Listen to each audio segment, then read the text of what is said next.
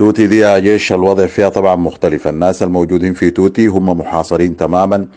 المسألة بتاعت ال- المسرحية اللي اتعملت دي الحمد لله إنه الشعب السوداني ده شعب فطن جدا يعني. والناس بقت الحاجات دي ما قاعد تمر عليهم يعني. بيقول الناس دي فاهمينها. نفس المسرحية دي حتشوفوها بكرة برضو. في حي القادسية برضو نفس ال... في شرق النيل يعني نفس ال- الموضوع برضو مستمر يعني. الناس اللي قاعدين يجي عشان يأمنوا بيوتهم وجزء كبير من الناس ال- ال- رجعت للمناطق ال- ال- البادية شوية آه، أفضل يعني. بدأ يسيطر الجيش ويفرض سيطرته عليها. ناس كتار رجعوا من مناطق مختلفة ومن الولايات. لكن مشوا هناك عشان يأمنوا بيوتهم برضو يعملوا يعملوا لحام لل... للأبواب وكده فدوريات مستمرة شايف من ال... الجماعة بتاع الميليشيات يعني. كلموا لك وين شهادتك بتاعت البحث وين؟ باعتبار إنهم هم ما أنا قلت الموضوع ده آه، مرتبط برضه بالحتة بتاعت التويهم ال- مع الناس زي ال- زي ما قلنا في الت- التسجيلات اللي فاتت يعني. ما زال بتاعت ال- البلاوي اللي بتعاطوها دي برضه واحدة من المشاكل يعني. فالمفيد في الموضوع إنه آه، توتي آه، مشكلة كبيرة. حاصلة. الناس برضه آه، قاعد تعاني في في توتي يعني. فدي آه، واحدة من ال- المشاكل. هم كونوا طبعا ال- الحركة اللي اتعملت دي ردا على إنه آه، توتي مخنوقة وكده. فالمساله دي طبعا معروفة ووضعها منتهي يعني. حتة بتاعت التصاريح اللي قاعد تدوها للناس بالقروش دي موجودة والإيصالات رقم الرقم ذاته وال- والمشكلة إنكم أنتوا القروش اللي كاتبينها في في الإيصال ذاتها باينة يعني والإيصال الناس كلهم شافوه يعني يتعرض للناس كلهم. فده كلام فارق ال- الناس تمشي تشوف ال- المزالة بتاعت بتاعت توتي دي لانها دي واحدة من الإشكاليات. توتي ذاته موقعها ذاته آه، مختلف يعني هي عندها خصوصية لأنه موقع ال- توتي وقريب ذاته للمواقع ال- الاستراتيجية يعني. هو منه طبعا ممكن يقبل الحتة بتاعت التأثير واضح عليه باقي ال- المواقع الاستراتيجية بحكم موقعها يعني.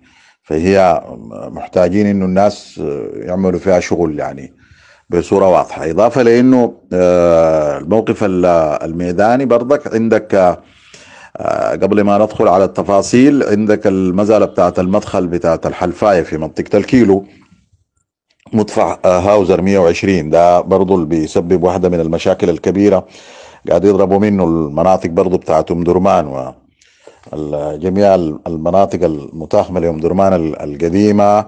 فالمدفع ده موجود بعد محطة الكيلو بعد محطة الكيلو العمارة الثالثة. آه، في محطة الكيلو بعد بعد الإشارة بتاعت الستوب يعني. فالمدفع ده موجود هناك مداه بعيد طبعا. مدفع الهاوزر معروف يعني. فالمدفع ده برضو موجود هناك وقاعد يسبب برضو مشاكل آه، كبيرة جدا يعني. نمشي برضو في الموقف الميداني. طبعا امبارح كان يوم آه، مختلف بالنسبة لهم برضو والخرطوم جنوب كانت فيها آه، ضرب زي ما قلنا شديد جدا. طبعا ال- العدد بتاع ال- القتلى في المنطقة دي بالنسبة للجنجويد كبير جدا. هم قاموا عملوا شنو يعني؟ هم طوالي بعد ذاك قلت بعد ما الناس زي هم يستهدفوهم ويتعصروا في في المناطق اللي هم موجودين فيها. فطوالي بيحاولوا يتنفسوا. فطوالي قاموا آه، ضربوا ال- المسألة بتاعت التجمع بتاع المواطنين في السوق اللي هو في منطقة مايو. وجنب مستشفى بشاير والمناطق دي. ما هي الأسواق دي. المسبب لها التأمين والمشكل لها التامين برضه مقابل مقابل قروش طبعا. هم برضه الحياة دي بيعملوها. يعني الأسواق بتاعت اللي بيتكلموا عنها بتاعت دقل الموجودة في مايو وفي الحاج يوسف وفي كرتون وفي كسله كرتون كسله وفي المناطق دي. هم طبعا برضه بيأمنوها هم يعني. لأنه هم برضه مقابل المزالة دي برضه بياخدوا مقابلة آه، قروش يعني. فامبارح لما اتزنقوا فكان لابد من من إنه يعملوا الحركة دي باعتبار إنها بيحاولوا بقدر الإمكان في أي آه، قصف من الطيران أو استهداف للمسيرات فهم بيحاولوا يوسعوا الدائرة. وطبعا الكلام ده ما عنده قيمة تاني لأنه أنت أصلا خلاص يعني ما هو أنت أصلا يعني العالم كله عرفك وفرضت عليك العقوبات وناسك بيقوا مشردين حايمين في العالم يعني. فأنت قصة إنك أنت الحاجة اللي بتعمل فيها دي غير إنك أنت بتكسب مزيد من سخط المواطن يعني. ما عندك حاجة عشان عشان تقدمها يعني لأنه المزارة دي في النهاية بقت معروفة يعني. انت القصة بتاعت استهدافك لل للمواطنين دي معروفة لأنه أصلا الموقف الدولي بالنسبة لك بيبقى وضعه زي الزفت. ناسك هناك أمورهم جايطة يعني. تشاد ترفض وجود الميليشيات. ده ده ده يعني في أراضيها يعني. وأوغندا تمنع عبد الرحيم دقلو من دخول أريتريا. جنوب السودان سمسار الجنوبي يشترط 50 مليون دولار لضمان دخول عبد الرحيم دقلو. وسلفاكير يرفض مقابلة آه، وفد من من الميليشيات طبعا. يعني انت محل ما تقبل عرفت؟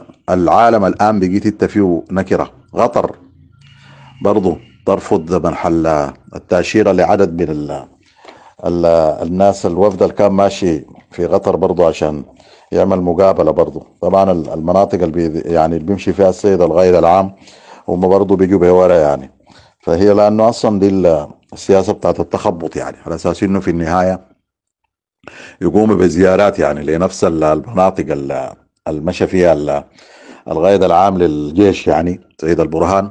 فهم بوراه طوالي بيقوموا يمشوا نفس يقدموا نفس الطلب في إنهم يمشوا نفس الدول. فهو دي العقلية كده يعني دي العقلية. ما هي ميليشيات في النهاية يعني التفكير زي ما قلنا ده زي تفكيرهم اللي, اتكلمت عنه قبل كده في المدرعات. طبعا بمناسبة المدرعات دي يعني امبارح هدوء تام في المدرعات. ما عارف امبارح شكلهم كانوا مزنوقين. ما أنا قلت قبل كده دي المناطق اللي هم قاعد يتحركوا منها اللي هي المناطق بتاعت جنوب الحزام و والحتات بتاعت الكلاكلات والمناطق دي دي المناطق اللي فيها المعسكرات طبعا اتكلمنا عنها في التسجيلات اللي فاتت فامبارح المدرعات أعادت الترتيب بتاعت الصفوف من جديد وكان يوم آه، أخذوا فيه الأبطال في المدرعات آه، مساحة للتحرك. شوية كده بتاعت الناس انزعجوا امبارح من آه، شوية ناس كده تسربوا من من الميليشيات. وأنا قلت ده الشغل اللي حيكون هو في الفترة الجاية. اللي هو المساله بتاعت أضرب وأهرب دي يعني. فتسربوا شوية كده لمنطقة بتاع الجبره منطقه اليحيى.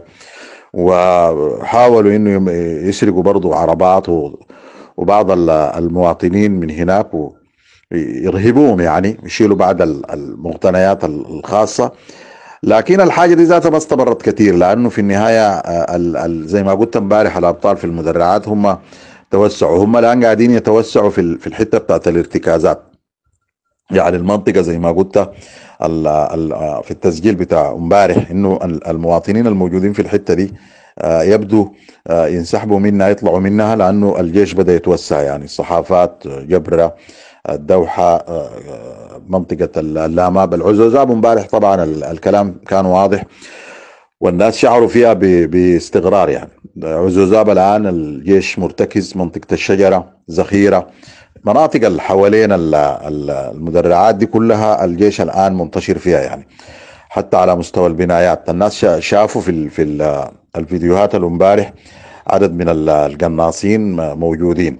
إضافة لأنه بداية الحركة اللي بدات في المتحركات اللي بدات تدخل. قلنا في التسجيلات اللي فاتت بأنه في كل مرة قاعدين نقول المزاله دي قربت. الجروب ده مرتبط بال بالظرف الميداني شايفينه الناس هي مزاله بتاعت استدراج لل للميليشيات بسحبها من المناطق السكنية. طبعا هم الموجودين ديل بقوا بعد ذاك عددهم ما كبير يعني لأنه هسه منطقة العزوزاب لو لاحظ الناس فيها البيوت مفتحة البيوت مفتحة لكن ما ما في حركة في في الشوارع. حتى ما زالت إنهم ساكنين في الحتات دي ما ما موجودة. هم طبعا بتلقاهم دائما في المناطق البعيدة شوية يعني زمان هم حاولوا إنهم سكنوا في المنطقة بتاعت الصحافات الحتات بتاعت الشجرة عزوزاب المناطق المحيطة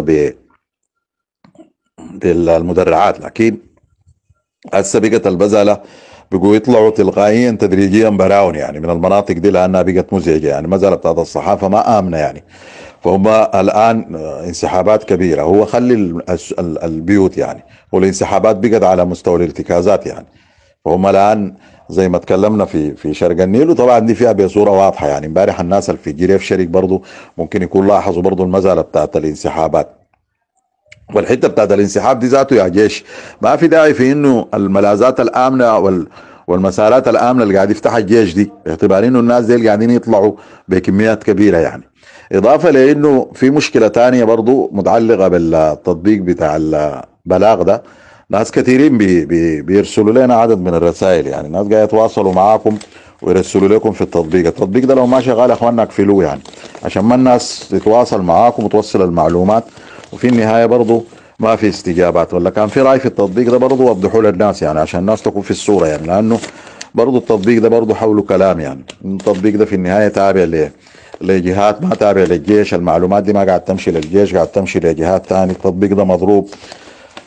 فبلغوا الناس يعني وروا الناس التطبيق ده شغال ولا ما شغال يعني عشان الناس ما ترسل معلومات وفي النهاية يبقى فيها إشكاليات يعني تبقى ما عندها معنى. ناس كتار برضه آه بيتكلموا. واحد من البشريات ال ال ال الجميلة جدا إنه الحتة بتاعت عدد كبير من العربات بتاعت الناس المسروقة آه دي برضه تم تحريزها يعني. موجودة في حوش يعني. موجودة في حوش في آه شارع في بحري في شارع الإنغاز ورا السكة حديد بغادي. برضه تم امبارح فيه شغل كبير جدا والحوش ده اتقبض.